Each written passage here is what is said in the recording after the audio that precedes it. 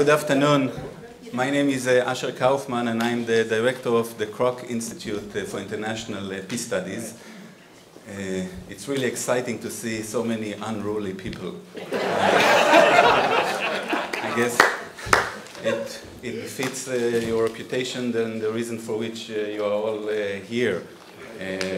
so I really, I'm, I'm, very pleased that we are hosting this institute, this conference.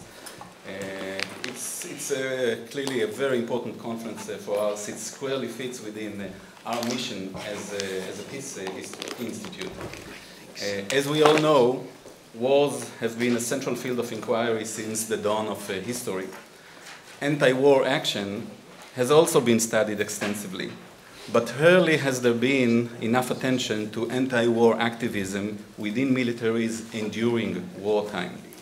And uh, clearly, uh, for many of you, this is uh, not only a scholarly engagement, but uh, a personal journey, personal experience. And uh, I could sense the excitement as I was walking here, trying to make my way through uh, to get to here. So this conference does exactly that. It brings these two fields to, together, the study of war and the study of anti-war activity during wartime, which is really worthy. I'm extremely thankful for David Courtwright for his leadership here at Kroc and for his hard work to make this important conference uh, happen. And I'm also thankful for Kroc staff who have uh, assisted David in, this, uh, in the organization and execution of this uh, conference. Just to mention a few names, Lisa, Laurel, El, uh, Ellie, and uh, Grace have all been very helpful in making it all happen. Rumors go that David has also recruited his own family. So I see Karen here and your son is here, so thankfully all this uh, makes it all a family enterprise, uh, which is uh, add to the level of excitement and the intimacy. So we have uh, three distinguished uh, speakers here in this panel, titled Historical Perspectives on the Vietnam Anti-War Movement. Uh, I will uh, present all three of them together, uh, and uh, so that we save time in between uh, speakers. Uh, starting with Christian Appy, who is a professor of history at the University of Massachusetts. His research specialties include modern United States history and the Vietnam War. He is the author of American Reckoning, the Vietnam War and Our National Identity from 2015, Patriots, the Vietnam War remembered from all sides from 2003, and Working Class War, American Combat Soldiers and Vietnam from 1993. Uh, Madame Ninh is the president of the Ho Chi Minh City uh, Peace and Development Foundation. Uh, she is the former vice, vice chair of Vietnam's uh, National Assembly of the Foreign Affairs Committee. She is actively engaged in raising public awareness on sustainable development, gender advancement, and youth empowerment, as well as rapprochement with the, the Vietnamese diaspora and the impact of uh, war legacies such as uh, Agent Orange dioxin, uh, dioxin in uh, Vietnam. And last but not least, Michael Kazin, who is a professor of history at Georgetown University, who specializes in US politics and social movements of the 19th and 20th century. He is the editor of uh, Dissent, a leading magazine of the American left since 1954. Uh, his books include War Against War, uh, The American Fight for Peace 1914 to 1918, uh, just published last year, and The American Dreamers, How the Left Changed the, a Nation from 2011. Each speaker has uh, 20 minutes uh, to speak, and I will uh, bring some order to this, this order and be very strict in uh, stopping them from their, uh, making sure that they uh, keep up their 20 minutes so that we have ample time for questions and answers. so the floor is yours, Christian, please. Thanks.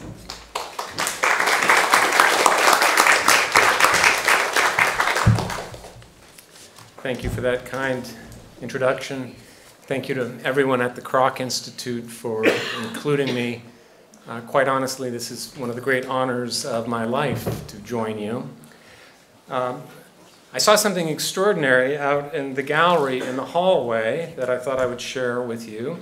It's a quotation from Dr. Howard Levy, who, as many in the room know, was uh, an Army doctor who in the mid 60s refused to um, train Green Beret medics to go to Vietnam, for which, uh, not surprisingly, he was court martialed and convicted and, and jailed.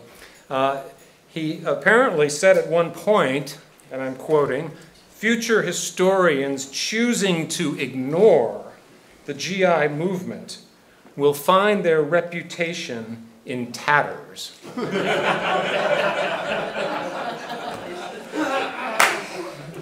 I like that, but maybe 50 years is too soon to judge. But quite honestly, I don't know a single historian whose reputation has been hurt by not knowing about the GI movement. So sorry to begin on that negative, that negative note, but uh, uh, it makes me think that the, the feeling I have most, uh, above all, being here, is the wish that uh, my students uh, could be here to talk with you and to listen about all the ideas and experiences and history that are so uh, alive and palpable uh, in this room. So uh, I fervently hope not only will historians be uh, defamed for not knowing about all of you, that it will inspire all of us uh, to do a better job at communicating to all generations across all boundaries about the power and potential of uh, peacemaking. I especially uh, wish my students were here because it seems to me that for four decades since the end of the Vietnam War, uh, most of them actually have heard very positive stories, very few positive stories about any anti war activist, civilian or military. Uh, I think in, this, in recent years, I do feel more and more students um, have the, uh, the basis for uh, some kind of critique of the war. They've seen horrible pictures for it. They, they may even have heard the, the term American imperialism. But what they, what they do clearly lack is an understanding that um, the, um, the basis for a critical analysis of that war or any war, or never mind all the other problems we're suffering, emerges from social movements and anti war movements. Those are the groups that provide the education and the information as, as well as the confrontation to raise those issues. Uh, so they, they, they, they, haven't learned uh, to uh, acknowledge or affirm the importance of social movements. Indeed, in the decades since Vietnam, the most vibrant and diverse anti war movement in our history has either disappeared from common uh, public memory or it has been uh, uh, lampooned, uh, un, uh, falsely stereotyped, and even demonized. Uh, think only of the movie Forrest Gump. Now, that's an old movie now, 1990 or whatever it was, but actually, uh, most students that I've asked have seen it. and the, the, the, one thing that you may remember about it is that it, it, it has a scene in which Forrest Gump comes back wearing the highest medal conferred, uh, Medal of Honor, and he's surrounded in an anti-war demonstration by uh, sort of five Abbie Hoffman lookalikes. and, uh, you know, when, when uh, Forrest Gump is introduced to sort of the, the, the, the, heavy, the anti-war heavy guy, uh, the activist, he takes one look at Forrest Gump and he says, uh, who's this baby killer? So that, in a nutshell, shows the, the reinforcements uh, of the kind of uh, the uh, stereotypes that, that, that, David alluded to at the very beginning of uh, today, and that uh, Jerry Lembcke has written about, and David Parsons, and half the people in this uh, in this audience. but um, so, as a result of that, um, we, we have, I think, too much broadly in our land, and not just young people, but but 40 somethings I, I, know very well, who uh, sort of see the, the, um, the generation of the 60s divided into two camps. There uh, are the, the anti war civilians, and, and the anti war movement is almost entirely thought of as, civil, as civilians with no relationship to the military, as hopelessly uh, self righteous, self absorbed, uh, and, and mean and nasty, uh, jerks, pe people who like nothing better uh, than to, uh, to, to spit upon or at least in some way or another uh, express disdain uh, for returning veterans. And then on the other side, this image of veterans as kind of patriotic hero victims. They're not, they're not unequivocal heroes, but they have a kind of victim status. The, the, classic example of that, of course, is, is, Rambo. I mean, Rambo just so totally fits that, that, that definite, that, that sort of image of the, of the, hero victim.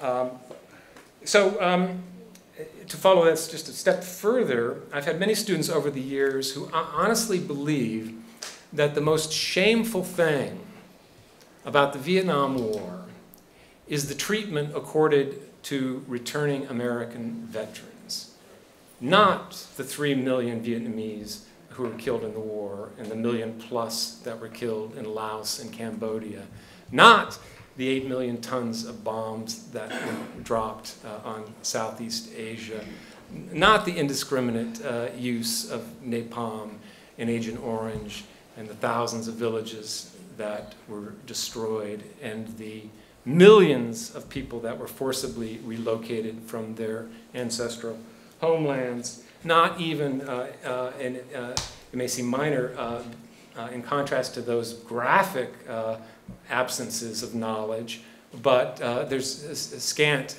knowledge that the United States, from the very outset of our intervention, going back to the 1940s, have subverted the possible democratic outcomes that would have um, made a war unnecessary. Uh, both in the immediate aftermath of World War II and at the Geneva Accords, which called for a nationwide election uh, under a single government. So we always have to ask, uh, what is the purpose of, of myths? and the, the myth of the, the, the, the veteran as patriot, the anti-protester as disloyal, what function does it serve? What political use does it have? And um, it serves many uses, but the most obvious is uh, it serves to undergird and support American imperialism. Uh, and beyond that, to, um, to bolster a faith that was shredded by the Vietnam War the faith in American exceptionalism. They, the whole point of my most recent book, American Reckoning, is to try to suggest that the Vietnam War, more than any other event in our history, undermined that broad faith that the United States is in uh, everywhere and always a force for good in the world, always the good guys in world history, always on the side of democracy and freedom and human rights. By 1969 and 1970, uh, that was in tatters. I mean, even, even pro-war supporters, when confronted with the evidence of My Lai, uh, the only the best response they could come up with was, uh, "Well, this happens in all wars. Uh, every every country commits war crimes." Well, once you concede that, you've pretty much thrown American exceptionalism out the window, haven't you? I mean, uh, if, if, if, if, everybody does it, aren't we supposed to put a higher price uh, on life than other countries? That was sort of a bedrock uh, idea in American exceptionalism. Of course, uh, the problem with this myth is it also, of course, um, makes us uh, forget the, uh, the fact that many soldiers themselves were involved in anti-war activism. And, and, it as well makes us uh, fail to see that there were many uh, sincere and actually successful efforts of collaboration between the civilian anti-war movement and, and active duty uh, military personnel. Uh, if uh, you hoped that the Ken Burns Lynn Novick documentary would right that ship and, and correct it, I'm afraid uh, not. It did indeed sort of reinforce uh, our distorted view of uh, vets as noble victims, and the anti-war movement was was hardly represented at all. Indeed, there are only two, actually two people in that film, by my count, uh, who represented the anti-war movement who lacked any uh, affiliation uh, uh, to the military through a family relationship or were actually in the service themselves. And both of them, at least on camera, who knows what was cut, but at least on camera, Zimmerman and Nancy uh, Biberman, they, they are allowed, what they say is mostly critical of the anti-war movement and sort of reinforces this idea that they were sort of self-serving and mean, and mean to veterans. Um, on the other hand, to its credit, one thing that uh, is uh, laudable to a degree about the uh, Burns Novick documentary is it does have a um, veterans uh, American Vietnam veterans on camera uh, talking about their uh, coming to anti-war position on the war and even joining in the anti-war movement. There, there are quite a, quite a few, and that's valuable. My, my problem with the way that's handled, however, is that these, these veterans speak inside a bubble. Uh, quite literally, the way they're framed, these very close uh, um, uh, headshots. And um, uh, so it, they are abstracted from their own history. They are looking back uh, on their history and telling their story, but there's, there's no sense of engagement with either the past uh, or the present. The bubble is, is the present as well. They're not engaging with uh, the, the current wars. I mean, I kept thinking, why don't they show these veterans walking through Vietnamese villages or interacting with a, a group of other veterans, sharing their experiences? Or even better yet, why, don't, why aren't they shown talking uh, to uh, veterans of the Iraq and Afghanistan uh, wars and uh, sharing experiences across time?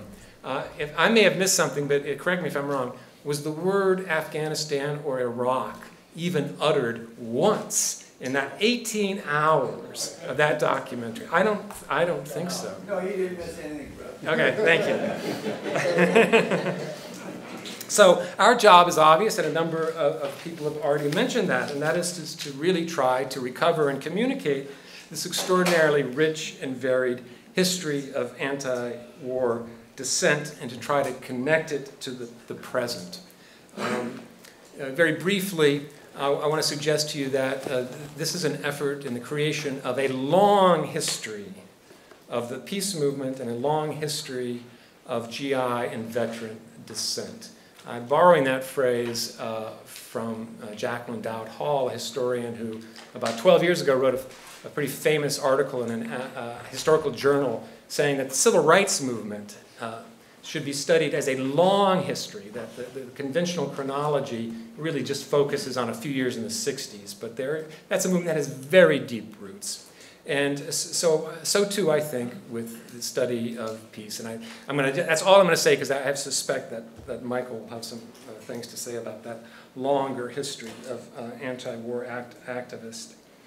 So let's, let me just make a, a my own little effort to try to bring us back to uh, the GI uh, anti-war movement of the 60s and, and 70s by uh, telling a short story that's pro probably familiar to, to, a number of you about two uh, very young uh, African-American uh, Marines, George Daniels and William Harvey, who in the summer of 1967 were at, at Pendleton, Camp Pendleton, that's okay. And uh, they uh, conducted a uh, sort of rap session after lunchtime chow with about 15 other African American soldiers, and they uh, raised very important question. Uh, is this our war? To which George James says, no, this is not our war. This is a white man's war. And uh, our war is here at home, and indeed it's raging right now in the streets of Detroit, where we are now in the fifth day of the, the, the worst uh, urban riot uh, of, uh, uh of, of, the decade. 43 dead, 8,000 National Guard brought in to suppress disorder, uh, almost 5,000 uh, paratroopers from the 82nd Airborne. So he made this case that became very familiar in the 1960s, the, the racial one. And what, for that, uh, he and Harvey uh, were court-martialed and convicted uh, of uh, uh, Daniel's 10 years of hard labor in the Portsmouth Naval Prison, sort of Alcatraz of New England, six years for Harvey.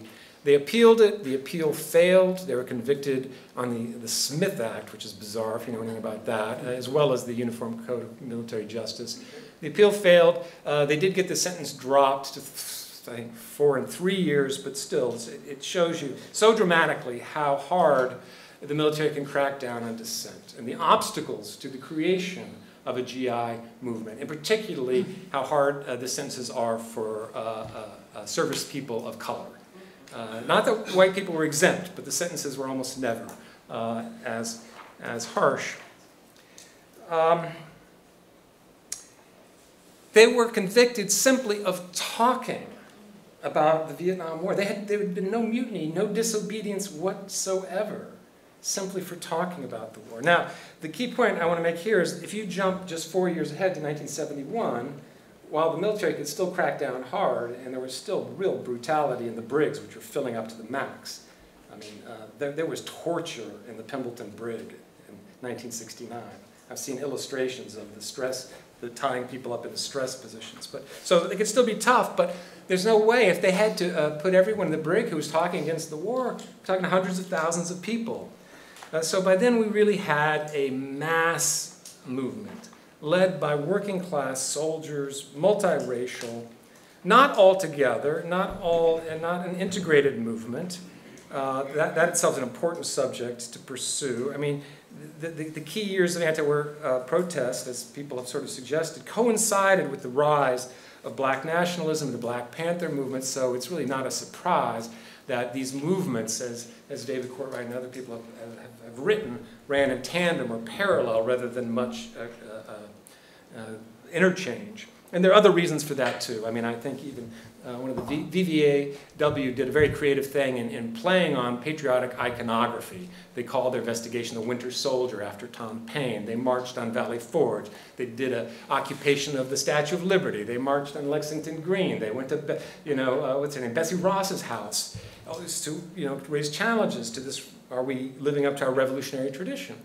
But to a growing number of African Americans who believed that they, they lived, and all people of color lived in in colonized neighborhoods and reservations, they would say, why, why are we even referring to the American Revolution? We the revolution is yet to come.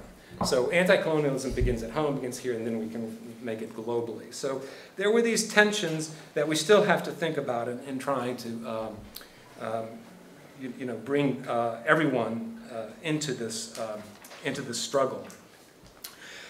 There was uh, as the decade went on, every imaginable protest, though they began earlier than many people uh, understand. I've recently, I keep coming across uh, examples of combat avoidance, not yet direct combat refusal, not mutiny, but as early as 66 and 67, you have units sandbagging operations, in meaning they just go out to a safe place even though they've been ordered to go on a more dangerous ambush or operation. Uh, even, in the, even in the Marines, I, I, recently met a guy who was there in 67, and he said even some lieutenants were participating. But the other, you know, it, involved everything from dress violations to petitions to, you know, uh, uh, letters, to, hundreds of thousands of letters to Congress, uh, underground newspapers, uh, skyrocketing desertion, skyrocketing applications for CO uh, status within the military, and, out, and outright mutiny. In 1975, even the military admitted that there were 35 instances of mutiny within the 1st Cavalry Division alone. And those were only the ones they counted. Uh, so by the end uh, of the war, uh, many studies have shown that nearly half of everyone in the military had committed some act of disobedience. So I wouldn't at all marginalize this as a minority movement. This was a mass movement. And indeed, if you look at that figure and, and ask how many people disobeyed on college campuses, I bet you it doesn't rise to that level. So that really was the center. And uh, you know, there should be this bumper sticker in the mid 60s. You know, suppose they gave a war and nobody came. And everyone rightly said that's sort of hopelessly naive. I mean, the, you know, isn't it? I mean, the military can get the people it needs. But by the end of the war, that bumper sticker was actually becoming close uh, to a reality or to borrow a phrase from Richard Moser, I think is here in his book, he, he says a, a, very significant minority of the American military had declared a ceasefire in this war.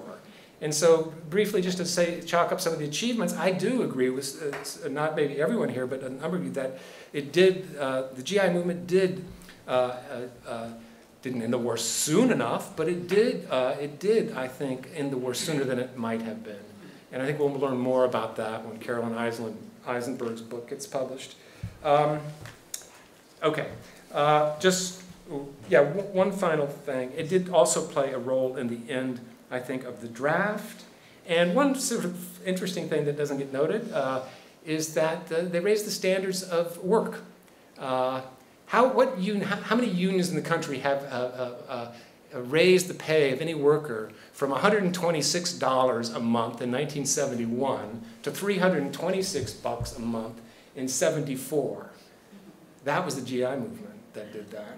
Uh, so lots more to talk about. It's been a pleasure. Thank you very much.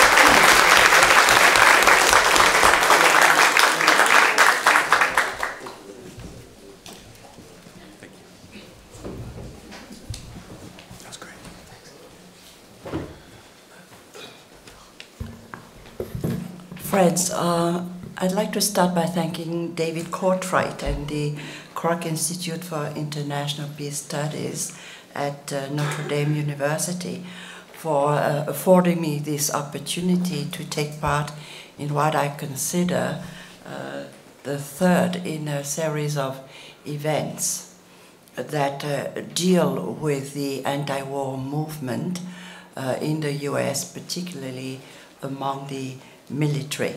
I was fortunate to attend the Vietnam Peace March commemoration in Washington, D.C. last October, uh, uh, where David was uh, also attending, and uh, also very happy to support the Waging Peace series of activities in, in Vietnam conducted by uh, Ron Carver and uh, Connie Field, whose docu- beautiful, powerful documentary you will be able to, to see. It was premiered in Vietnam, which was very meaningful, the year of the 50, 50th year uh, of the My Lai uh, massacre.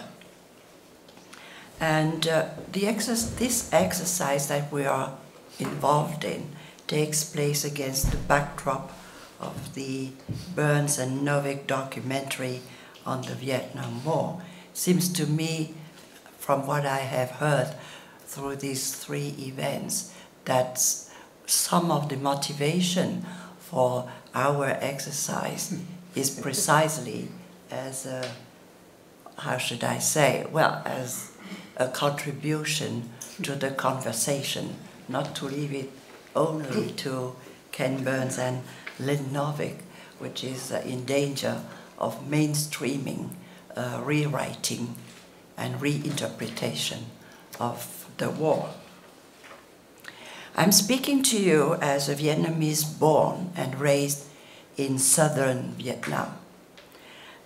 Uh, and I traveled in my youth years with a, a Republic of Vietnam passport. But I opposed the war while I was studying in Paris, and I took part in anti war demonstrations in Paris. And I never identified with the government of the Republic of Vietnam, because to me, the Republic of Vietnam was just an artificial creation of the major powers, and more particularly of the US uh, at the Geneva Accords. Uh, my allegiance is to the country of Vietnam, which has been one for several thousand years. So, um, today I, I, will not uh, make a presentation. I'd like very, in the 20 minutes uh, I'm imparted, just bring to you a testimony from a Vietnamese and an analysis of how I see, I understand uh, your contribution to your own history and how it has affected also we, the Vietnamese. So, the, the first point I'd like to make is that we are engaged in a crucial exercise. In French, they have a perfect word for it, uh, which is used particularly for the Jewish diaspora when they try to, to make sure that uh, future generations do not forget uh, the Holocaust. So, what the, uh, in French they call travail de mémoire. In English, I will try and, uh, and say that it's a work of owning the past, your past and your country's past. So to own the past, you need to, to know, but also to understand, and only then can you own it. Of course, you need to understand in, understanding in a certain way, uh, in a way that that is closer to truth, as close to truth as possible. And you have to learn. And learn from both what one did right and one did wrong. I will not speak about the US, I will speak about Vietnam. For example, we Vietnamese, we have done a lot of things right, but we did a number of things wrong. All of you, especially, you know, uh, researchers, scholars of history, you will know about, you have heard about the land reform, which was really a serious mistake of our party. That we have to look in the face and to understand what went wrong.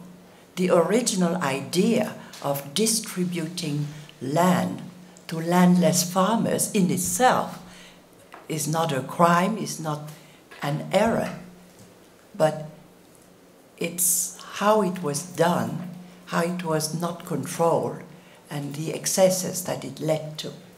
So, in other words, you can have good intentions, but if you don't prepare properly with a proper strategy and policy and monitoring, it can lead to excesses. So, we have to uh, looking back, we have to learn the lessons from that land reform. Following the end of the war, we one major error or mistake in policy uh, that we did was the re-education camps. Now, here I have to pause, pause and explain. My own brother was a captain in the uh, RVN army. And mind you, for, for those of you who have studied and who have visited, who know Vietnam, in that war, tell me which family doesn't have members on either side.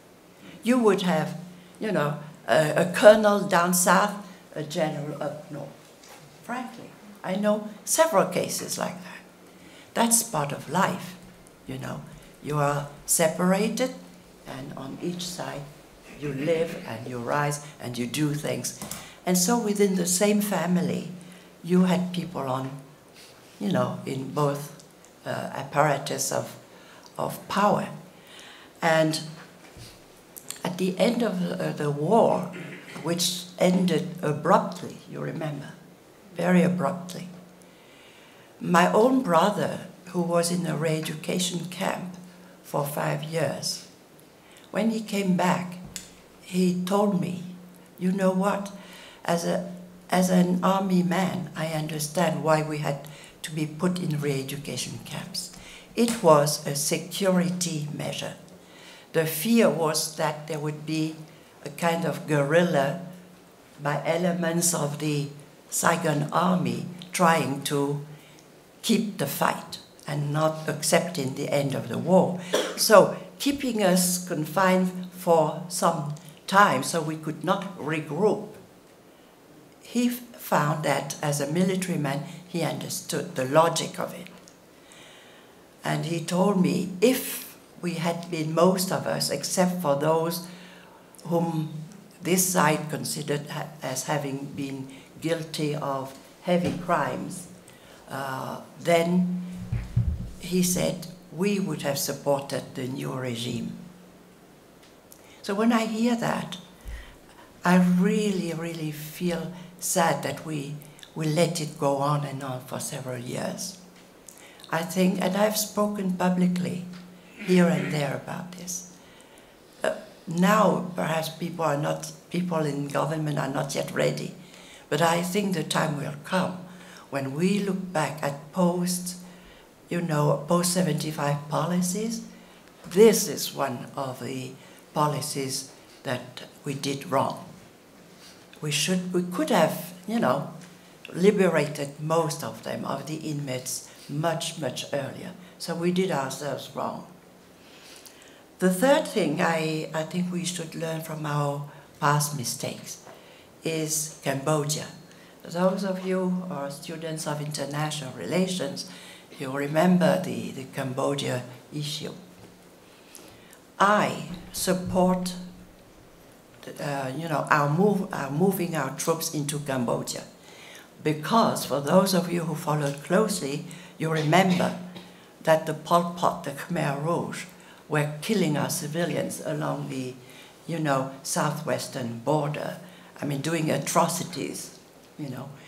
And we, at first, our government tried to, to speak sense, to negotiate with the Khmer Rouge, but though, you know, those were crazy people, and they hated us to the point that they would not stop. And so in the end, there was no other way than sending our troops. So I'm not against our sending our troops. And actually, as we defended our own security and our citizens' lives, we, we did a service to the Cambodian people because it stopped the, the genocide, the killing fields, for those of you who've seen the documentary, The Killing Fields.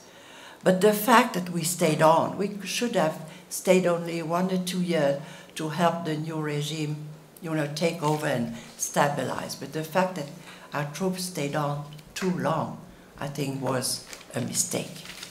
So I'm mentioning to you these three issues to say that even also for Vietnam, it's not easy to draw lessons from past mistakes. Lessons from success, that's easy. Lessons from mistakes, that's difficult. It's difficult for us, but as I will say later, it's even more difficult for you.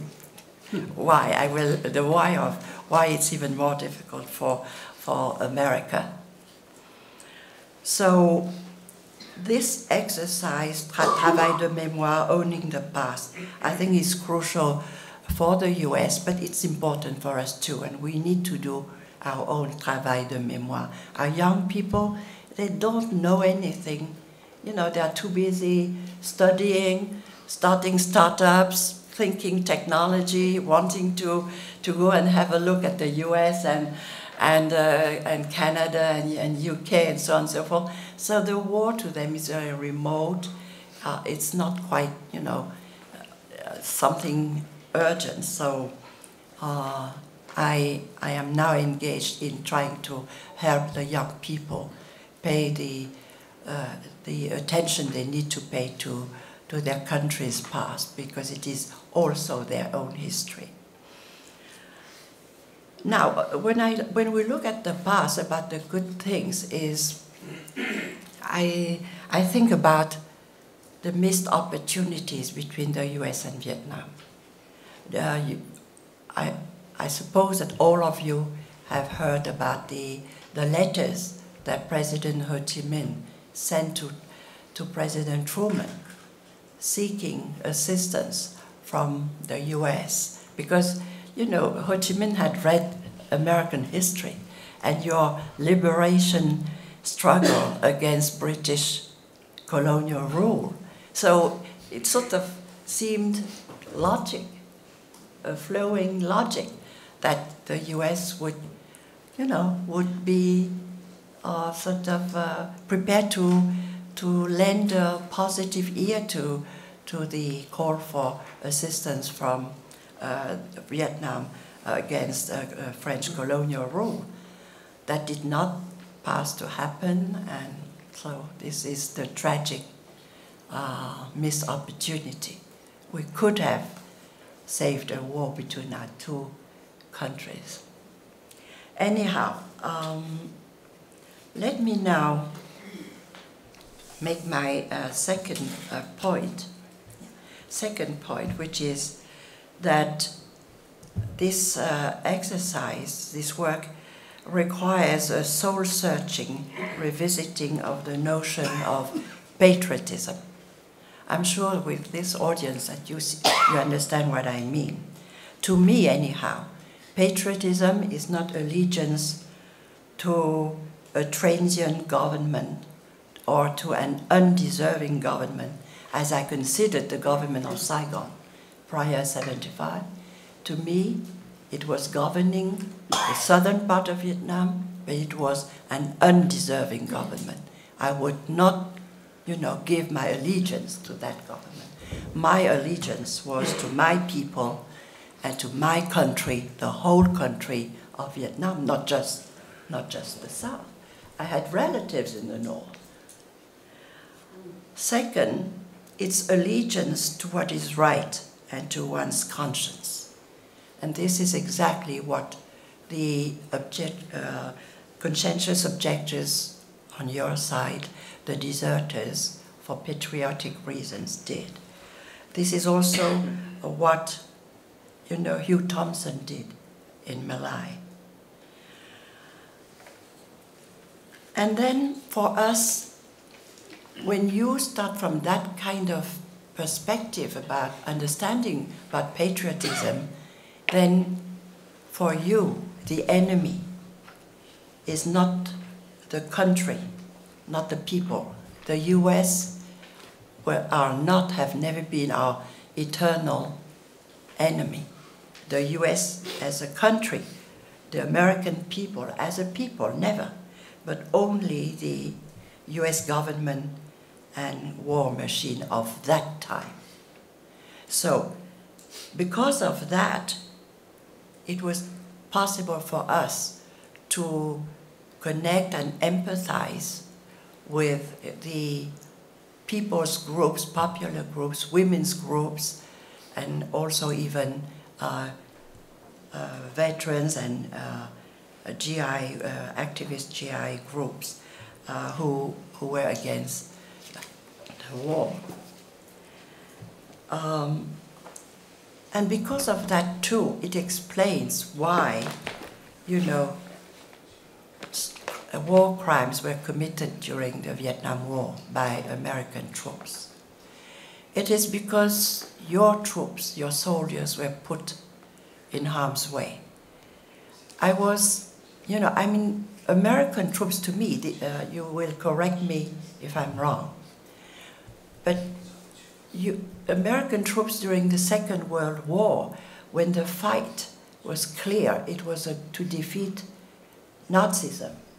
You know, it was a, a legitimate cause. And so when soldiers are sent to a legitimate war for a legitimate cause, they are much, much, much less likely to perpetrate war crimes.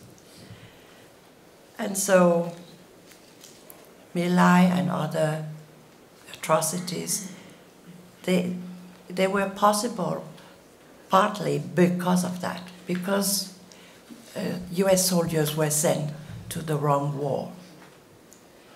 And the same would apply to the Abu Ghraib incident. When Abu Ghraib happened in Iraq, a foreign, uh, an international journalist interviewed me, put a microphone in front of me and said, what do you think about Abu Ghraib? I didn't go into specifics or details. I just said one thing. This is what happens when you, you send your troops into a war. They don't know why they, they, they take part in it. So instead of bringing the, the best in them, it brings out the worst in them. And in all of us, there's the best and the worst. And if you put them in the wrong war, in the illegitimate war, you know, the worst is bound to, to come out.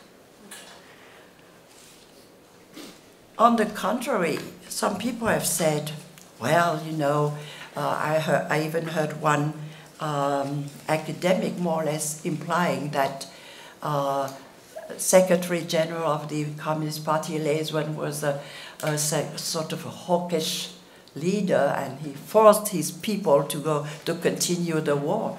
I said, you, you got it quite wrong. He didn't have to force us.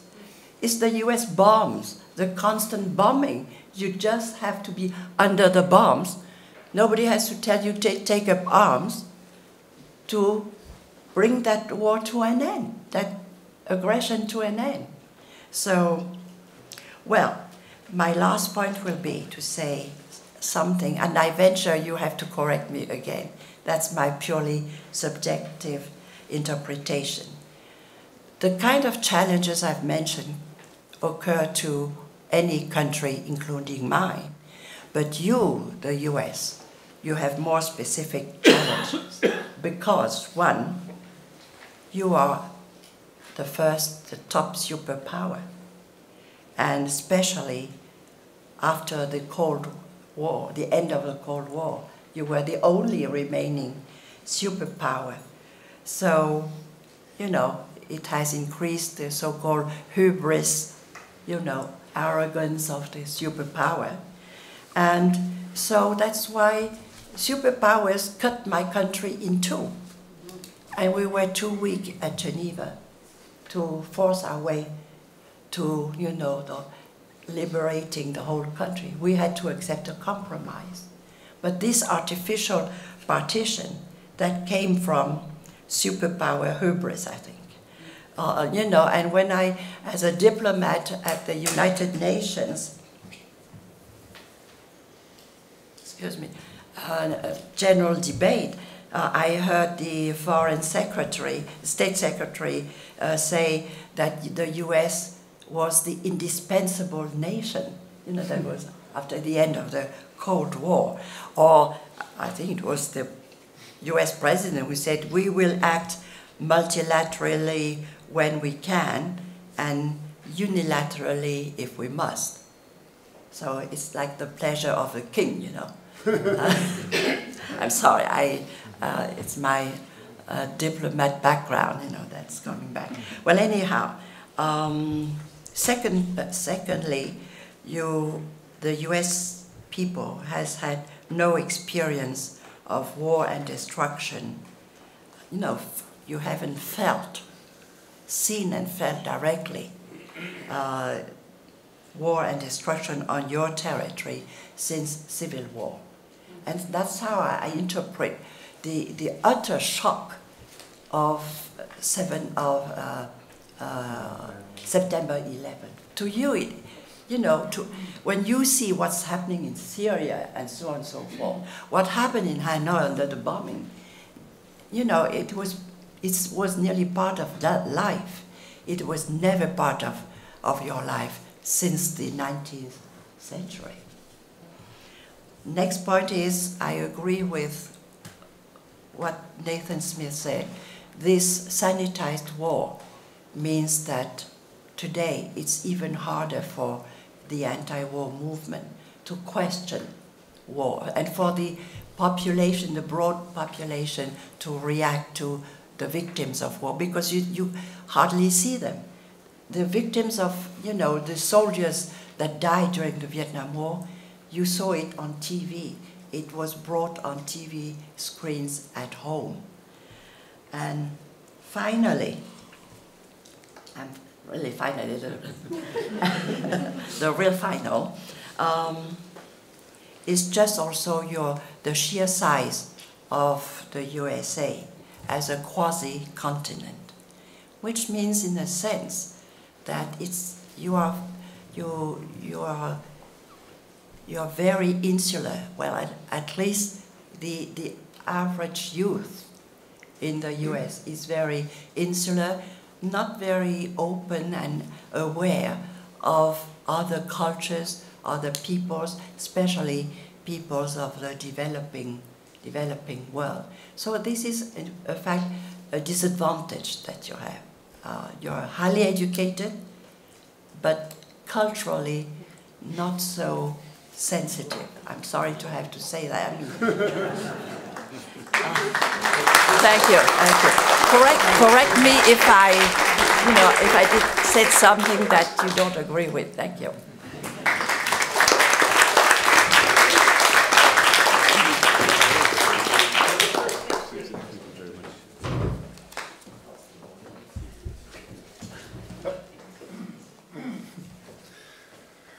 Uh, it's a little overwhelming to speak after that wonderful talk. Um, I spent um, about 10 years of my life um, in the anti-war movement, from 65 to 75. I did a few other things too, but that was always the most central thing that was I was doing, um, and it really, it really formed um, who I am today, and, and uh, got me to be a historian, um, and has continued. I continue to be an activist and a historian. Um, um, in this um, crowd, I don't really feel I need to give a sort of activist talk. I'm going to give more of a historian's talk, though obviously the two are closely connected in many ways. But um, and um, I wrote this book called War Against War, which uh, Asher mentioned, uh, came out last year on the centennial of the U.S. declaration of war against Germany in 1917, and that got me thinking about, about anti-war movements in history. Um, and so I want to say a few things about that uh, too, but I also want to talk at first about some um, uh, rather interesting, maybe remarkable parallels between uh, the two largest anti-war movements in American history. One during World War I, uh, which was larger before the United States got into the war than it was once the United States got into the war, um, in large part because the Wilson administration and the Congress and the uh, federal judges made sure that uh, it was very difficult to protest World War I. As most of you know, the Espionage Act was passed, passed during the war, the, the Sedition Act passed during the war, uh, which, which, essentially made protesting the war illegal. Um, everyone who protested the war, everyone spoke against the war was not prosecuted for that. That would have been impossible, but um, many people were. And one of the things to think about in comparison between those two movements um, is that the opponents of each war um, were countering liberal presidents, idealistic presidents, um, who most of them had earlier supported, actually, uh, what they were doing domestically. Woodrow Wilson, as uh, most of you probably know, when he called on the United States to uh, enter the war against Germany after the war uh, in Europe and Middle East had been going on for uh, almost three years, he said the United States is not going to war for conquest. The U.S. is going to war to create a world made safe for democracy. And earlier, uh, he'd given a speech calling for a peace without victory. Um, 50 years later, Lyndon Johnson, there with two of the leaders of the Republic of South Vietnam, who we all remember, uh, Thieu and Ky, um, gave a speech in Johns Hopkins University, sounded almost exactly like the speech Woodrow Wilson gave, uh, parts of it at least, calling on the U.S. to enter the war. He called for a peace without conquest, in a world where every country can shape its own destiny.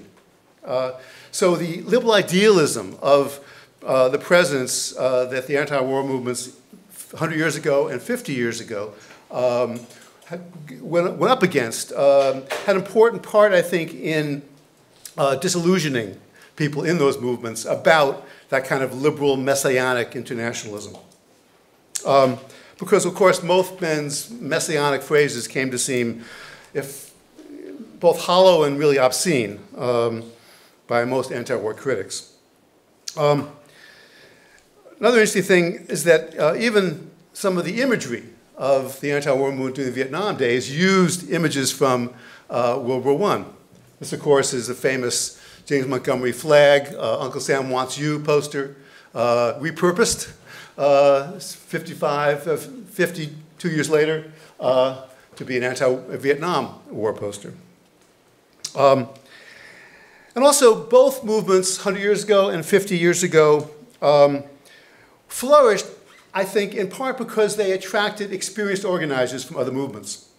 We often forget, people study social movements, people involved in social movements, how much each social movement depends on the experiences of, the rhetoric of, um, and the individuals from other movements uh, who enter uh, that anti-war movement, usually after they've been involved in other movements first. Not always, but uh, often the most experienced um, and most effective organizers are those who have experience in other movements. Um, that was true, as we know, in the 1960s, where many of the most talented anti-war organizers came from other movements on the broad left against poverty, uh, for civil liberties, for nuclear disarmament, uh, and especially for black liberation. Um, they had learned to define, we had learned to define our politics as a deeply moral undertaking in those earlier movements, before we got in the anti-war movement. Um, Muhammad Ali, um, famously, of course, um, uh, applied for conscientious objection, saying, I ain't got no quarrel with the Viet Cong. No Viet Cong ever called me N-word. Um, and this helped to forge a very tight connection, I think, between people who've been in the Black Freedom Movement and in the anti-war movement. Earlier, um, you know, we heard about Julian Bond, of course, uh, leader of SNCC, uh, who gets uh, denied his seat in the Georgia state legislature because SNCC opposed the war in Vietnam. Um, and so a, a, passionate internationalism was taken for granted in the 1960s, as it was 100 years ago.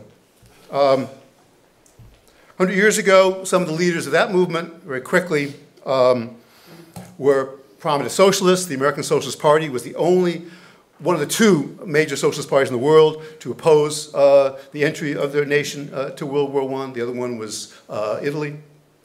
Uh, there are anarchists like Emma Goldman, feminists like uh, Crystal Eastman, um, and uh, Jane Addams, and many progressive senators from both parties.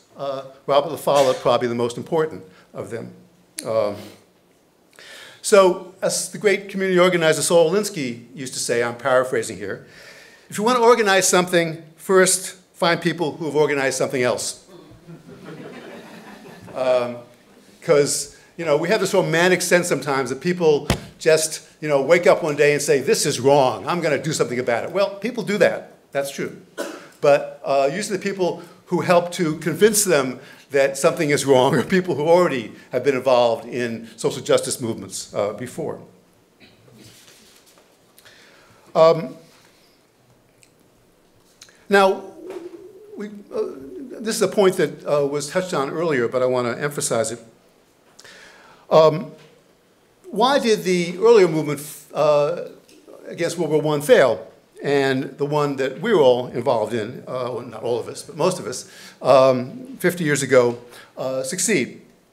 Um, interestingly, it's very likely that the U.S. intervention in World War I was actually less popular before the declaration of war in April 1917 than the U.S. intervention in Vietnam was until the Tet Offensive uh, in you know, this winter of 1968, by which time, of course, as you know, over 500,000 American troops were in Vietnam.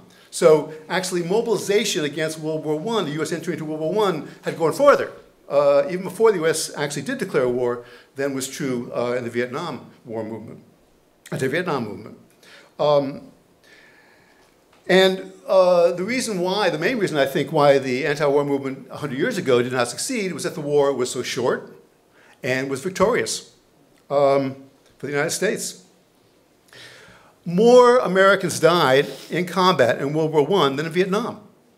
Uh, but the majority of them died in one battle, the Battle of the Meuse Argonne, um, which began in September 1918 and ended on the Armistice Day, uh, November 1918. Um, so the contrast to the Vietnam War, I think, is striking uh, because it took about three years after Johnson began escalating the war before a plurality of Americans turned against the war, according to public opinion polls. And even though um, all honor to people who were my heroes at the time and still my heroes, uh, people who in the military and opposed the war, um, who knows what would have happened if uh, the National Liberation Front had not mounted the Tet Offensive, which of course, as we know, was terribly destructive of the, uh, of the troops of the NLF. Um, but nevertheless, as you know, the publicity for that war um, uh, helped to turn, I think, a majority of Americans against the war, I believe, for the first time. Um, so in the end, and this is a point that was made earlier, the anti-war movement succeeded because the Vietnamese kept fighting, kept fighting U.S. forces to a stalemate. I wish it hadn't taken so many deaths uh, for American politicians finally to give up the effort, but sadly, uh, it did.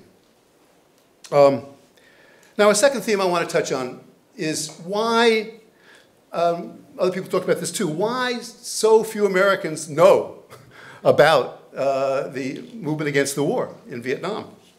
Uh, in comparison to all the uh, Americans who have learned one way or another about the Black Freedom Movement, um, about uh, the feminist movement, um, even about the, uh, the movement for gay and lesbian liberation. Um, there were monuments for all those movements. Stonewall, you know, bar in Greenwich Village is a monument, uh, in effect, to LGBT movement. Um, and of course, uh, there are civil rights museums uh, around the country, some very wonderful ones, and uh, one in Memphis, for example. Uh, and of course, there was a, a, monument on the mall to uh, one, of the, one of the great leaders of the Black Freedom Movement, uh, not the only one, Dr. King. Um, but it's going to be a while before we have a monument to the anti-war movement. Um, and, and this reflects, I'm afraid to say, uh, perhaps I'm wrong, and there's a lot of people here who have written wonderful books about aspects of the anti-war movement in the Vietnam era, reflects what we talked about before here today, is the, uh, the, the absence of uh, recognition of how important that movement was uh, in helping to end the war um, and in linking up with other social movements, uh, which, which most Americans have learned to, at least if, if only grudgingly uh, think were good ideas, like the Black Freedom Movement and the Women's Movement. Um, there's still only one survey of opposition to the war in Vietnam, right? Tom Wells's book, not a great book, but uh, people, there's, there's, it's time for you know two or three other great surveys, um, I think. Um, my book's the only uh, book of synthesis of opposition to World War I, uh, which was the other great anti-war movement. Um, and I think it, it's that neglect by scholars um, which has uh, something to do with uh, the terrible treatment of the anti-war movement in the Burns and Novick series that uh, people have talked about. Um, uh, they could not have made a sort of both sides were, you know, equally uh, interesting and honorable uh, about the Black Freedom Movement, you know. Uh, nobody was going to say, well, Bull Connor was doing his best, you know. Um, he was wrong, but, you know, we have to sympathize with him. Um, nobody would do that. Um, um I'm sorry? so, so how do we, but, but as an historian, have to try to explain why um, there's this relative neglect. I know it's relative neglect. People here have written wonderful books uh, about this, but um, in general, anti-war movements in America are kind of the orphan of American, uh, of scholarship of social movements.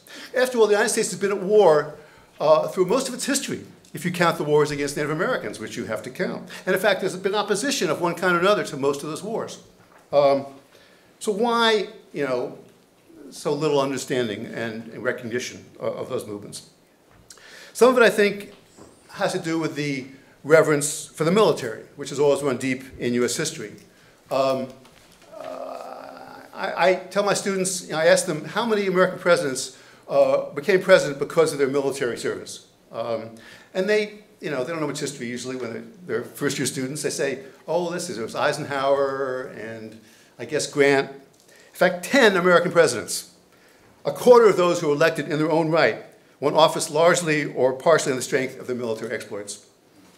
Um, and um, Another reason, I think, is that um, the study of, of peace movements, the study of anti-war movements, um, sort of part of the history of diplomacy, the history of war, which has been dominated for most of its history um, by scholars who focus on um, powerful men in and out of uniform who made decisions to prepare for uh, and fight and negotiate an end to armed conflicts.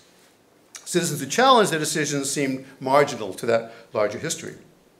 And also something else which is uncomfortable for those who are opposed to war is that wars, in America at least, have often uh, accelerated uh, reforms that those who opposed the war supported. Women's suffrage, for example, triumphed in part as a result of the role women played in World War I.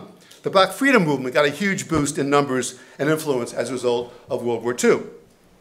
Um, so there's, there's other examples I can give as well. So that has not happened with the Iraq War and uh, uh, the Afghan War, um, but it has happened with earlier ones. Um, how much time?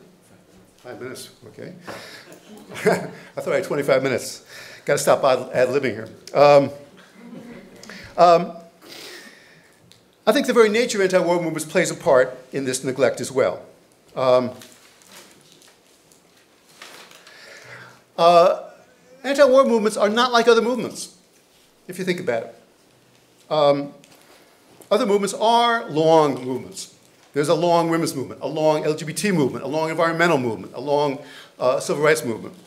Um, uh, they can take a long time to grow. They can have setbacks. They can, uh, different generations of people can sign on to them uh, and leave them, and the movement keeps going forward and often keeps making gains. Anti-war movements aren't like that. Anti-war movements, at least massive ones that have much success, have to grow quickly. They have to stop a war that's already going on or to stop a war that's about to happen, as in World War I, as in the huge demonstrations right before the US invaded uh, Iraq in 2003, um, heard about before.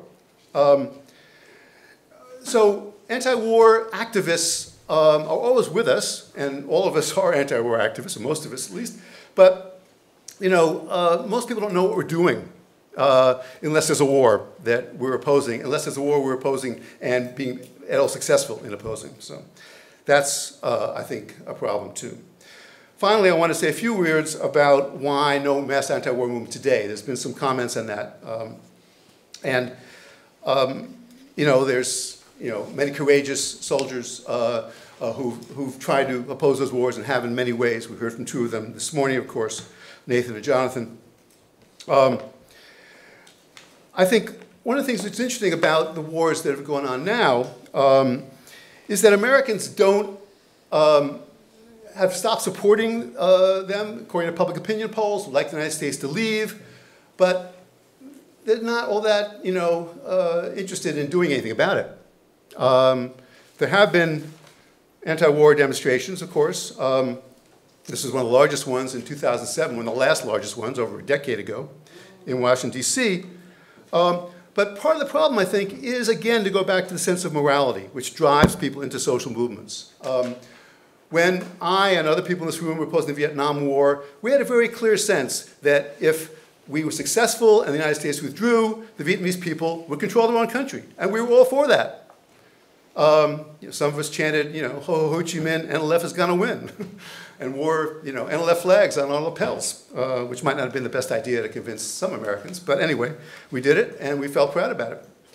But today, you know, I don't know of any Americans who oppose the wars in Afghanistan and Iraq who would say, yeah, sure, let ISIS win, let the Taliban win, you know, no problem, you know. Uh, so morally, it's a more complicated case. I'm not saying the United States should stay in those countries, that's a different argument, but to convince a lot of Americans that it's a mistake for us still to be there, you have to make a more complicated argument about innocent civilians dying from drone strikes that are you know, launched by people sitting in an office in Northern Virginia, near where I live, uh, and, and elsewhere, but it's not the same. You know? So there's a, a lack of a moral internationalism, I think, among progressive people, uh, like pretty much all of us in this room, uh, I believe, which was there 50 years ago, which is not there today. Um, Michael Walzer, political theorist who used to co-edit Dissent with me, uh, has written, the default position of the left is the best foreign policy is a good domestic policy. I think that's true for many people, not just on the left, but on the right as well. Um, in some ways, that's what Donald Trump was trying to get at when he said about America first and um, uh, do things only for, for, for the United States. Um, so, um, want to end um, with one of my favorite, uh, talk a little bit, one of my favorite anti-war documents of all time in America, which is The Moral Equivalent of War by great philosopher William James written in 1910, uh, before World War I. And one of the reasons it's a great document is because he hated war. Um, he said war made history into a bath of blood. Uh, but he was very conscious of why it was so difficult uh, to mount opposition to war. Um, and, um, and he said in the first line of that uh, essay, the war against war is going to be no holiday excursion or camping party and you know he didn't know the half of it. Uh, but the point is that in order, I think, to build uh, an anti-war movement today, an anti-militarist movement today, uh, all the things we've been talking about and that we would dearly like to have, we have to take very seriously the reasons why. Um, uh, reasons uh, why those movements have had a hard time getting off their feet, uh, and why there have been so few of those movements in, in American history. So sorry to leave you with a, a sober message like that. Uh, the task is nevertheless you know, as vitally important as ever. Um, but um, I think the only way it's going to happen uh, is, again, if, and someone said this earlier, I think, if uh, those of us who are trying to build an anti-war and anti-militarist movement do link up with other movements already there, because that's the only way it's ever happened in the past. Thank you.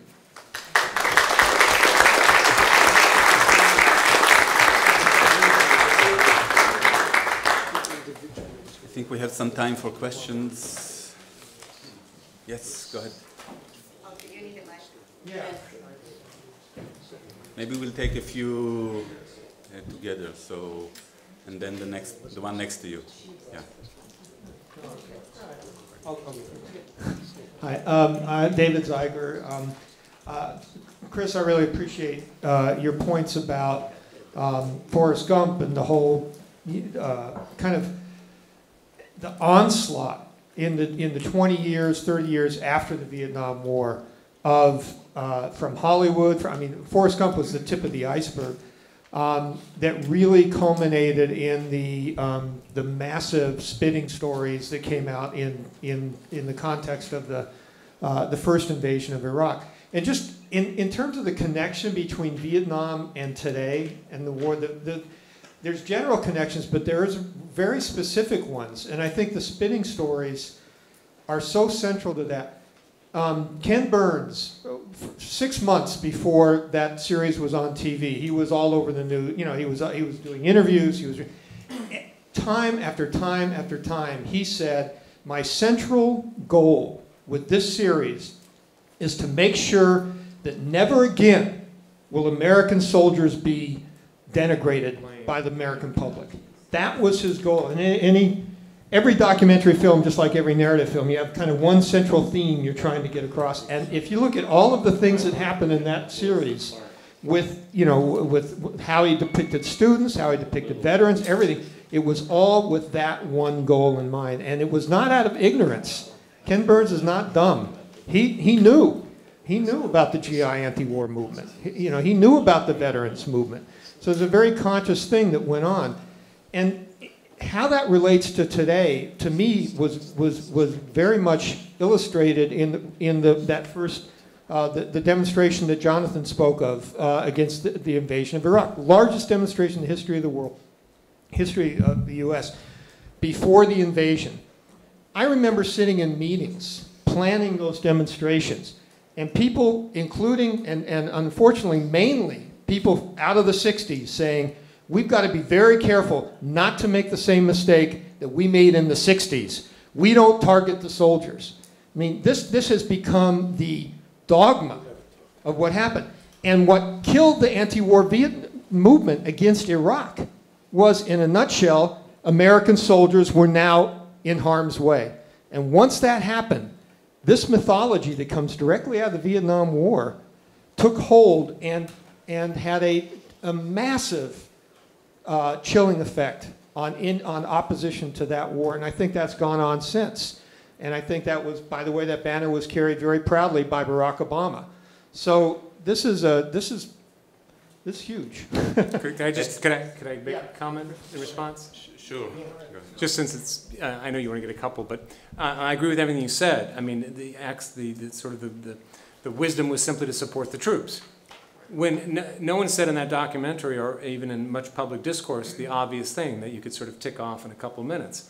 Obviously, Afghanistan, Iraq, and Vietnam are very different countries with different histories and cultures. However, in terms of American policy, once again, as in Vietnam, uh, we are uh, engaged in wars under false pretext.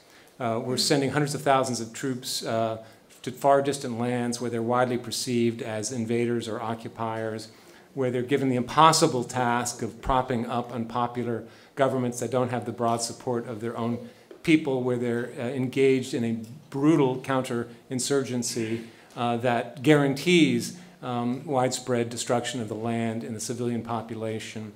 Uh, and you know, once again, uh, as in Vietnam, uh, we're simply not achieving our stated objectives. And persisting in the war, again, long after the American public has concluded that the war is at least mistaken, if not uh, immoral. So, I mean, that, I mean, that didn't take too long to say, but no one says it in that film and, and in much other uh, places. Go ahead. Um, I'm Bill Ehrhart, and I'm one of those veterans that Burns and Novick put in their series. Um, and I can tell you that a whole hell of a lot ended up on the cutting room floor. Uh, John McAuliff can tell you that I spent uh, six years biting my fingernails waiting to see what the hell they did with me. And, and by last June, when Burns was saying that bullshit, I was apoplectic. Poor John was, I was driving him crazy with, oh, fuck, what have I done? I've been, they're going to make a jackass out of me. Um, it turned out to be not as bad as I thought it was going to be. Um, and I won't, I won't get into detail because probably there's a million people here who would like to talk for two hours as I would. Uh, but, but the one thing they did, you have to understand that Burns and Novick, Bank of America is not going to underwrite a scathing indictment of American imperialism. It just ain't going to happen. Um, there is good information out there, lots of it. Chris has written some of it. Uh, David's film is brilliant, but David's film isn't shown on, on public television. Um, there's a reality to what's going to get out there, and the one thing that I'm, I'm glad I participated in is that I've had, because I've been in it, I've been invited to speak and write New York Times, NPR, um, all sorts of outlets. I was just doing it last night, which is why I got here late today, where I can tell people exactly what I think. And I sat on a stage with Lynn Novick and told her I was the anti-war movement, and I wasn't spitting on myself and calling myself a baby killer. Can I make one, one quick comment? Sure. Yeah, just, just really quick, you know, about the Burns Novick series. Um, I asked my students in every class, you know, since it came out, you know, how many people saw it? Not one student saw it. So in some ways, I think, you know, Burns Novick, you know, we care a lot about it. You know, I'm not sure, you know, I think it was pretty much uh, our generation, maybe people a little younger, who really were absorbed by it. But uh, younger generation, maybe that's a sad thing in some ways. Younger generation just, uh, and these are smart history students at a fancy elite school. You know, it might as well not have happened. Did you ask them what books they read instead? Go ahead. If Yeah, I my may name is- ask for My name is Ron short Schneck. I'm a, comments. I'm a Vietnam vet and a long time, uh, CAT affiliated with, with VVAW. Just like other people here, real, just real quickly, and I apologize to everybody here. Uh, I tried to watch the, the Burns thing also, and I apologize, because I tried to watch it sober. If that ever happens again, I'm gonna be seriously fucked up. But there is, on a serious note, there's, there's a number of things, and I hope it's also really touched on uh, tomorrow in the, with the GI press and the, and the thing on the GI movement. And that is the internationalism that existed along with the heroic struggle of the Vietnamese people cannot be underestimated. And, and, and it's so far, in some ways, it's been left out. Uh, I came of age after Vietnam. You had African liberation struggles. You had the tricontinental. You had the living memory of Che.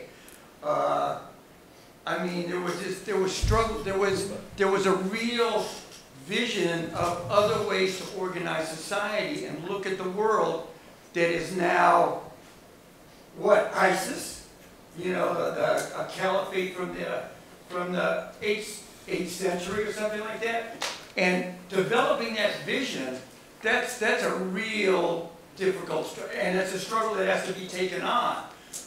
And that's one of the things that we are faced with, both young, young and old, in terms of striving. One other thing that I want to say, real quickly, and this is, and that is when you have radical soldiers, men and women who revolt against their military, and I would draw a very strong line with the struggles of, of, of national liberation struggles in the United States and around the world.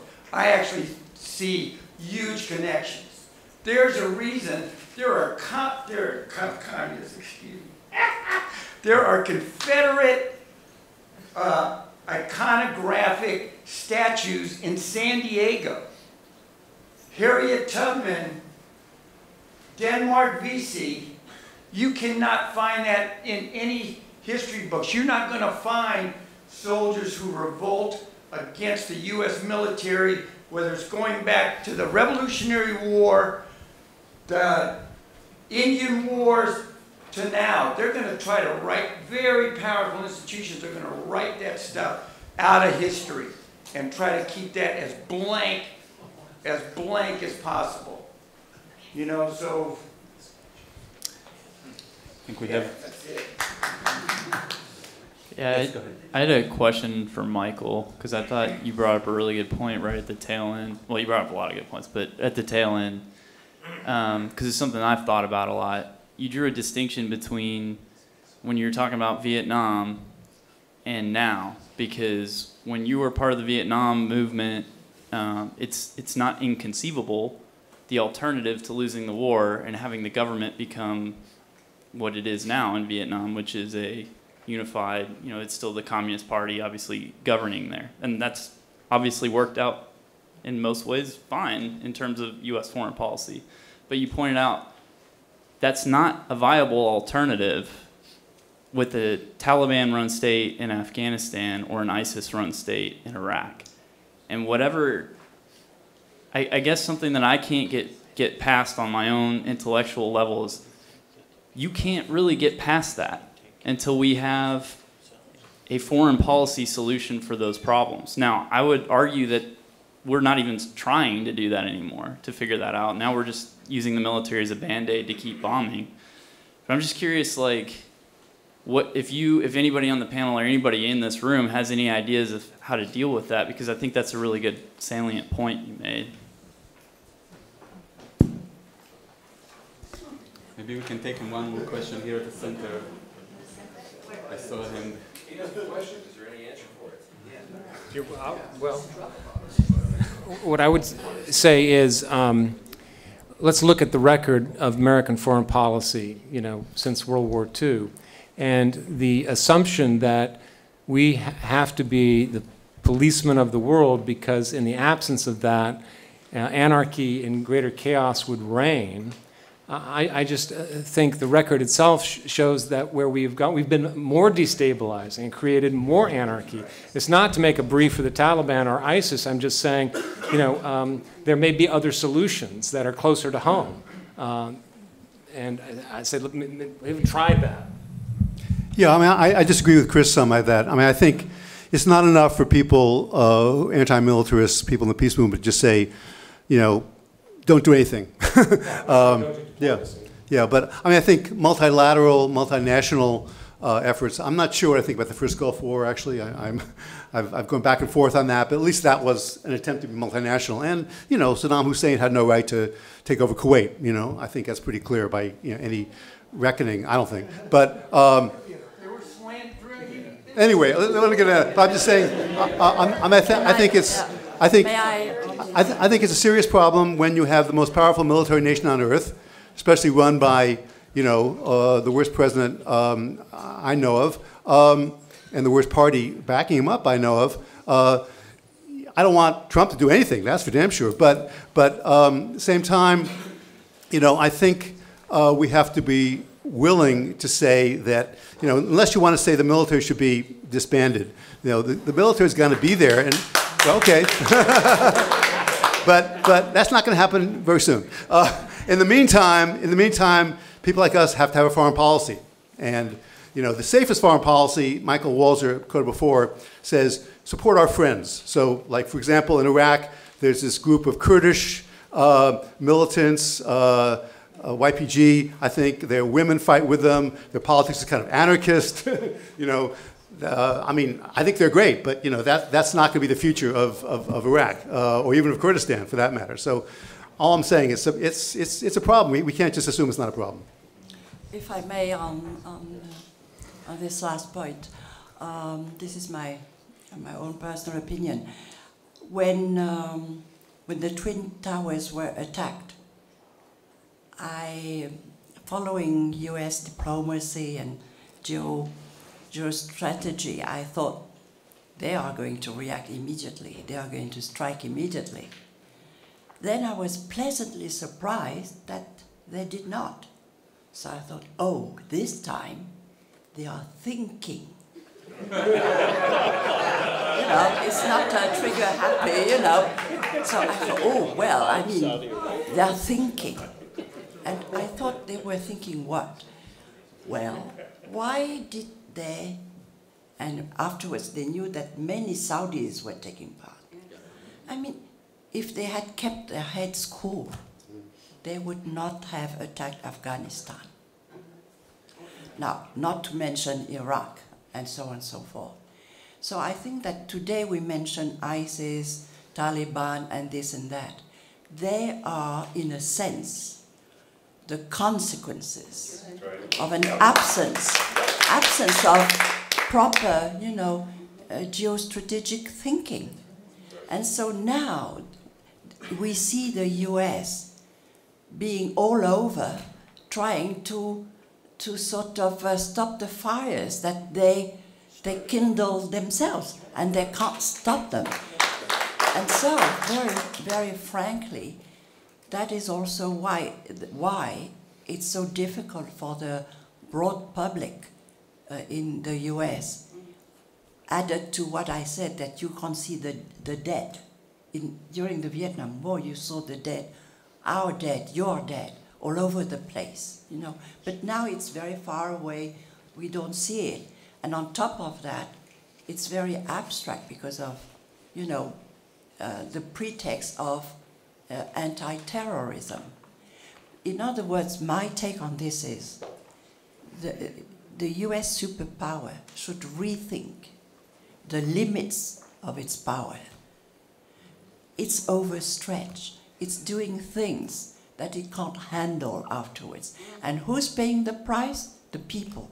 My personal opinion is that today, you know, you, you read, you listen to the United Nations. Since the intervention in Iraq, there have been several hundred thousand civilian deaths. Not necessarily because of the US troops, but because you enlarged the Pandora's box, you know, of terrorism. In other words, the terrorism, the terrorist attacks that we see today, the pretext is the US intervention. You see? And so when you look at what's going on in the world, especially in the Middle East, what is at fault? First is US diplomacy and geostrategy. Only next, the US military. So I don't think we should say, you know, this is a problem of the military. It's a problem at the very top, at the very heart of the command, and the command sh should always be civilian. There's a problem, you have a problem there. I'm sorry. My name is Skip Delano, and I was a Vietnam vet and active in the anti-war movement, GI anti-war movement. And I want to sort of address what Michael said. And one is to say that our military, our military authorities never ever celebrated soldiers who dissented during the Vietnam War. They did everything to suppress that and stop that. And after the war is over, they're certainly not going to go back and say, hey guys, write histories about it. We want everybody to know about this. Mm. And they certainly today don't want people to know about it. Whereas the women's movement, civil rights movement, those are things that won great victories and are celebrated today. But they're never, our military, our government is not going to want you to write a history that they're going to spread all to our youth in America. That's not going to happen. However, I don't think we should miss one important lesson out of the GI movement. There are Iraqi vets, there are Afghani vets here today. Those guys, I'm not wrong, spoke out when they were in the military against the war at that time. They marched against the war at that time. They're here today and calling on their brothers and sisters to do the same today and oppose U.S. aggression abroad. If you go back and you look before Vietnam, soldiers did not question their government, period. There was no dissent within the military before the Vietnam War. It just did not exist. You criticize the president, you could get court-martialed and put in jail. Well, that changed during the Vietnam War. We could not only, after Lieutenant or Howe marched against uh, the war, I guess in 65, he was court-martialed, but it ended after that. People were, uh, uh, you know, court-martialed for various kinds of things in different kinds of ways. However, what we did establish is the right of soldiers men and women to oppose the war, to criticize their president, criticize military authority. That has changed. That is a victory for the people everywhere. And so that's a good thing. It's one thing we should not forget here when we're talking about this period and looking back. And any comments you have on it, I'd love to hear it.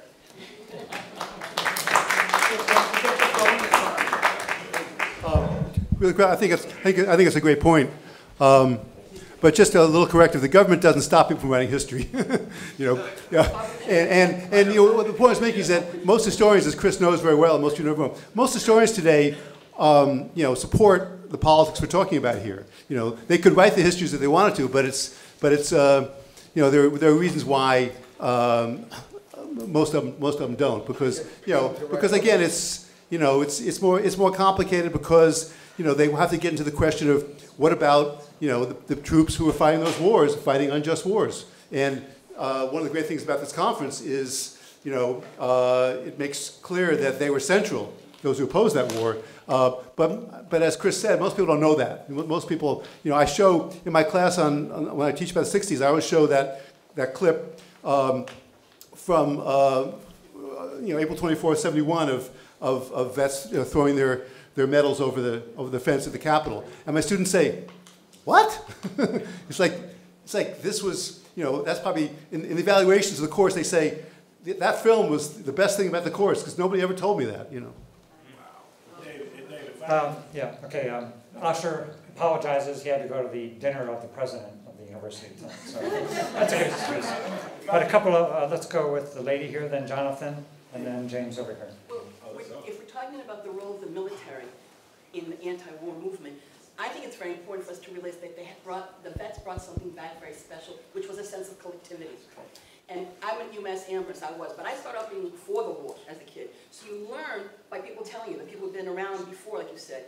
These little ladies with sneakers, probably younger than me now, that helped us with Women's Strike for Peace or whatever, get our high school buses to go against the war.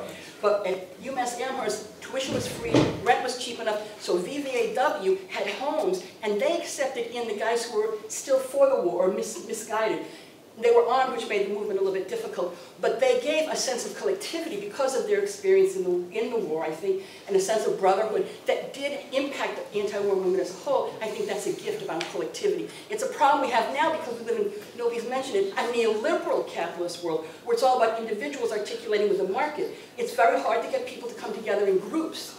But that was something that veterans have an experience of groupness that, that was very important. The other point is the issue of racism.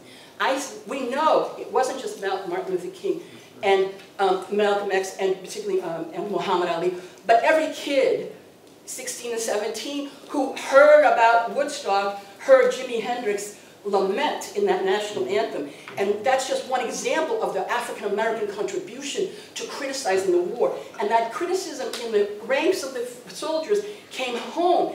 It was African American soldiers who talked about imperialism and colonialism.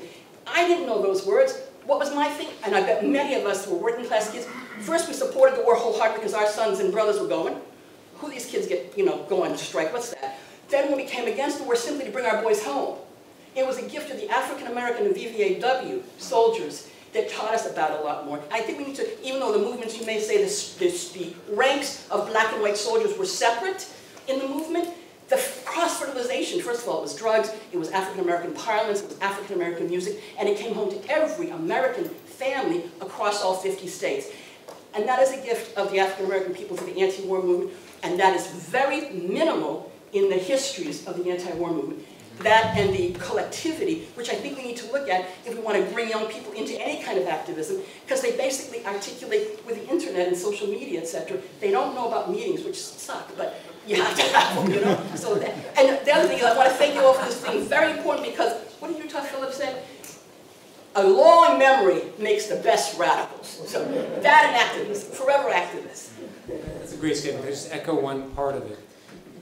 Racial cohesion and unity uh, may, may have fallen apart a bit in rear areas, in, the, in bases, on bases, but uh, an act of combat refusal in the field requires that very, the very unity that keeps you alive when you're actually fighting. It takes, it requires that same solidarity to resist fighting, and that is cross-racial, and, and, uh, and people felt that. Yeah.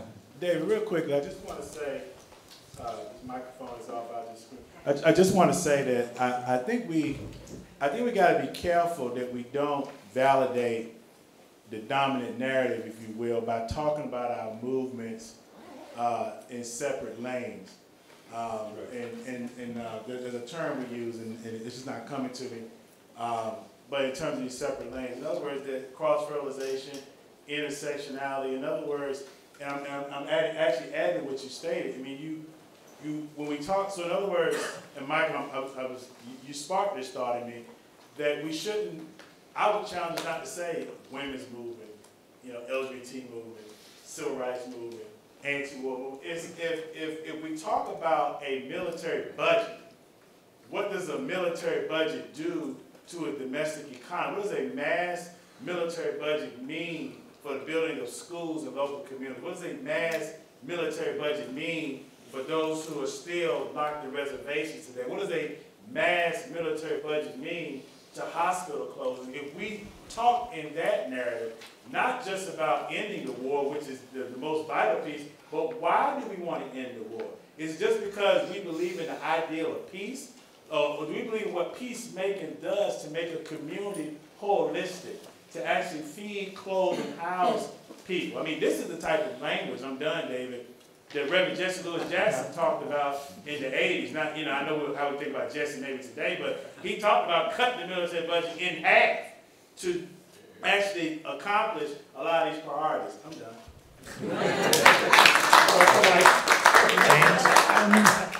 Hello, is this working? David, and then Um, Josh in the back. two things. One for Michael.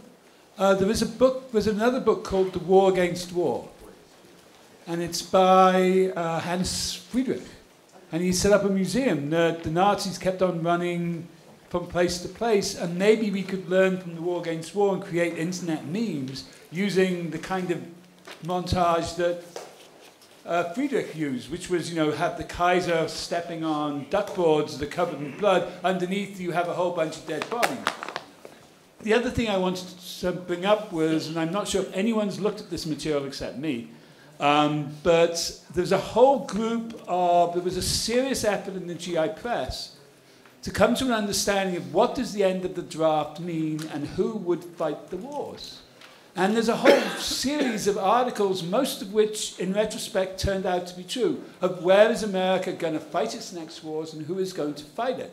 And the areas they said were Central America and the Middle East. And the people they said were going to fight it were, were, were servicemen and reservists. And it's a, it's, it's, a, it's a really interesting sub-theme that begins around 1972 and sort of peters out around 1975 and is worth looking into. But if someone can come up with some Friedrich internet memes for Facebook, yeah, that would be cool. Make pro-war people vomit in their breakfast. Okay, uh, David is next, and then Josh. Um, okay. I, I can speak without a microphone. Um, I, I never speak for two hours. I'm a university professor, so 50 minutes is usually how long I'll um, A lot of good points that we need that need to be followed up more. One that's not been mentioned, except in Michael's talk, is the U.S. military has been used to justify a bunch of progressive social policies in American history. The U.S. military has been used to justify spending on education, spending on educate, uh, spending on infrastructure. I went to school. I'm a National Defense student alum. I studied poetry. Um, um, progressive social policy, ultimately and half-heartedly on race and on gay rights. And the United States has been very weak in developing progressive social movements to do that absent the military. And that's a challenge for activists. Um, There's one thing about the microphones, Yeah. the live feed can't hear. Yeah, Josh, uh, use into microphone, microphone. Who's the lab? Josh. Hey, I want to go back to the question of uh, the opposition to the war linked to the, the ISIS, that it's Islamic fundamentalism and all this. First of all, a government of Christian fundamentalism that we live under now has no moral authority to judge anybody else in the world. This is a, and, and uh, there was a lot of there was a lot of outrage when you had uh, newsreel of uh, ISIS uh, cutting the throat of, uh, of their uh, prisoners of war and how horrific and horrible that was. And while you can agree with that, the annihilation of 250,000 people in Hiroshima and Nagasaki in an instant is a little bit different. So um, people who are getting ready to have a moral, uh, that, that this country in any way, this government in any way, can be the moral arbiter of what goes on in the world is insane. I just, um, I, um, I hope you didn't um, hear me as saying that I thought it was fine for the U.S. to be in, in Iraq because of ISIS. What I was saying is, uh, or Afghanistan because of the Taliban. The, the, the, the problem is that, uh, again, if you are asking people to devote um, a large part of their lives to opposing those wars, uh, they have to have convincing arguments about the question, what happens if we're not there? And to me, um, our side hasn't come up with, you know, um very uh, convincing arguments yet. I, I think we should be out of those countries uh, tomorrow, but do I feel great about what will happen when we leave? Uh, no, the people control their own countries and they'll keep fighting with each other. Um, the way people are in Syria, not hope not that bad, but um, you know, I think it's also important for us to think. You know, I don't want to start a whole argument here, but you know, um, America's not responsible for everything bad in the world. You know, um, people have agency. You know, and these movements that ISIS is part of, Taliban's part of, Al Qaeda was part of. You know, that's a movement. Yes, it was partly um, th- those movements grew in part because of American imperialism. That's certainly true, but but people have an ideology they feel very strongly about, and um, and it's a you know, and and people you know believed and they still believe you know that that it's a better way to run uh, the world the way their interpretation of Islam, you know, uh, goes. So I think it's, it's I think it's wrong. It's in some ways condescending for people on the left like us to say, you know, everything, you know, ISIS and, and Taliban and all that, you know, happened because um, of American policy. Yes, American policy helped them to grow. That's certainly true. Without the invasion of Iraq, they probably wouldn't have grown as much. But those movements have a longer history as well, just as all movements in this country have a longer history. Um, and, and we can't just assume that somehow, if America wasn't doing these bad things, you know, these things wouldn't exist. Uh, Paul? can- Paul, Yes. I'm Paul Lauter. Um, I'm old enough, older than most people here.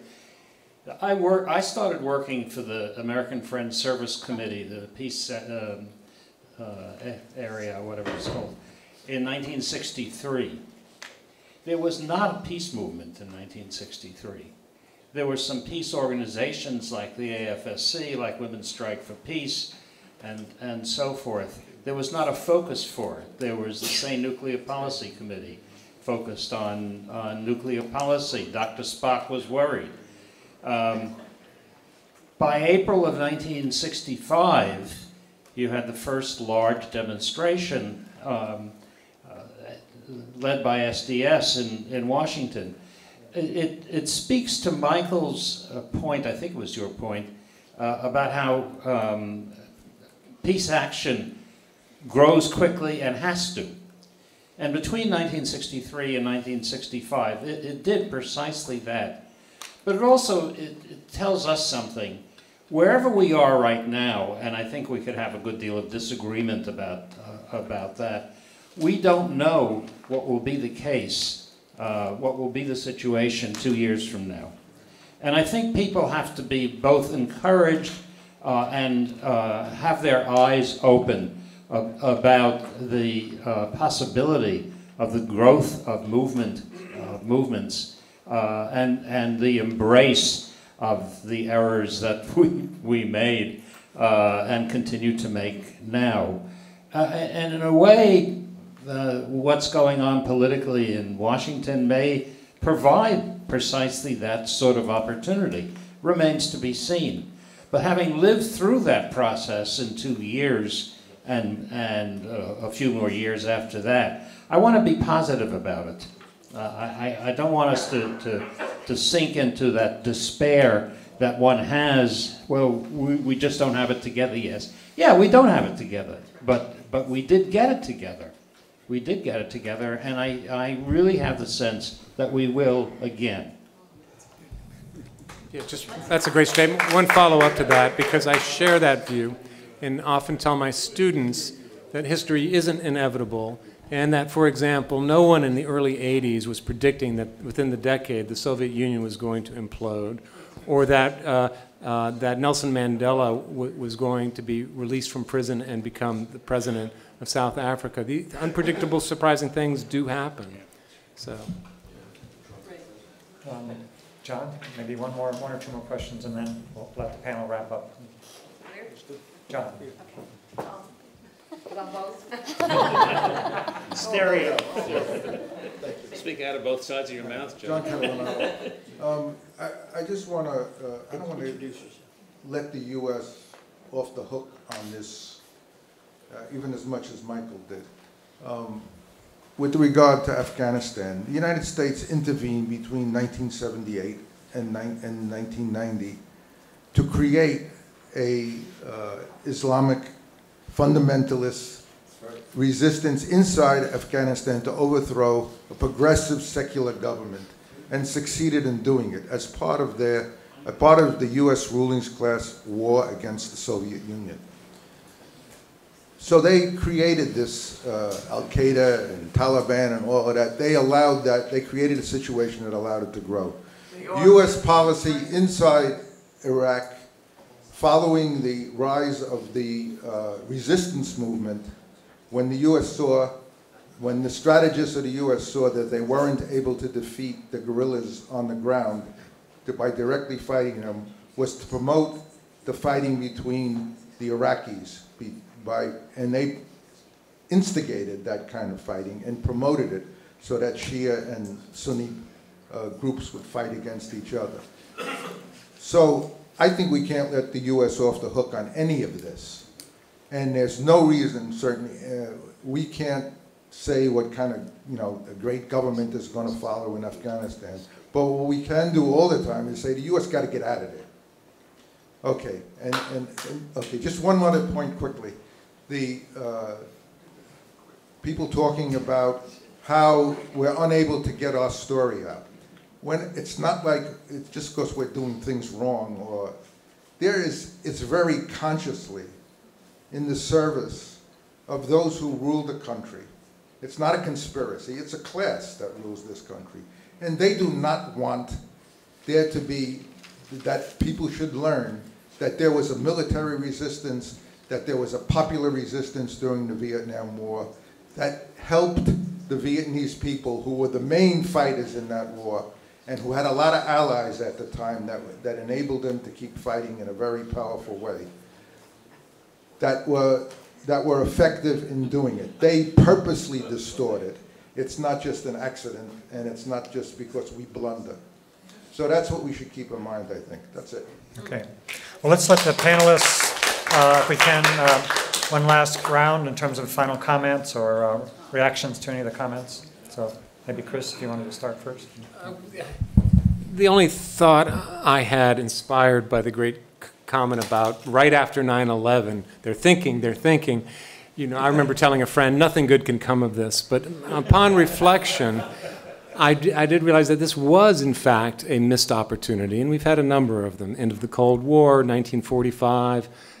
This missed opportunity was simply this we could have gone to the world and said, you know, we now have suffered on our own soil, you know, for a long, first time in a long time, the kind of devastation that most of the rest of you have experienced. We look to you for advice and and and uh, support, and it was pouring in. There was an extraordinary candlelight vigil in the streets of Tehran there was a moment where we could say, okay, we do, there is a threat of, of terrorism, and we're going to approach it with you know, lots of ideas. We're going to open to other ideas. Instead, of course, Bush drew the land, you know, you're either for us or against us, and if you're not with us, you're on the side of the terrorist. And we're going to declare we're, we're, going to declare permanent, uh, unlimited war on terror instead of you know. And if you don't agree with that tactic, you're you're a bad guy. Was, but many other people were saying there's another tactic. It's more like a police operation. You share information, on and on. So that's my. Um, well, I had, I said that uh, you have it uh, harder, but people like you uh, I'm sure we'll we'll keep at it and um, uh, we'll find a way um, to to bring your government to to reality and to responsibility. Telling your government don't do things that you don't know, you know, the consequences of for others. You know, make sure you know what you, you're doing. I'm not sure I can be very optimistic these days, but but at least I mean this is this is first of all your responsibility. Uh, your friends across the world, you know, can try and help by being candid, sharing uh, our thoughts, our analysis, our experiences. But at the end of the day, it's really your homework. So good luck.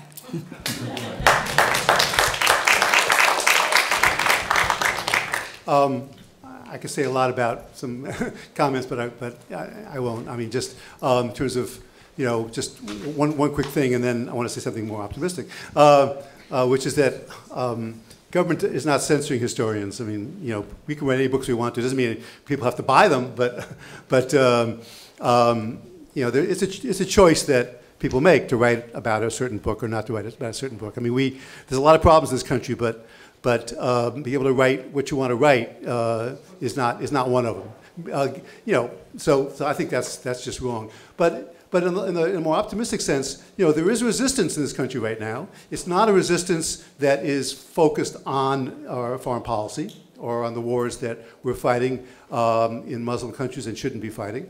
I certainly agree with it. We shouldn't be fighting them. Um, but I think you know the best way for people who want to build a larger consciousness about the problems of militarism and the military budget is to be part of that, that larger struggle. And that struggle, as always in, in history, at least in American history, has got to be both, uh, as Jonathan was saying before, an inside-outside struggle. You've got to be in the streets when that makes sense to be in the streets. You've got to be building collectivities online and in meetings uh, as well.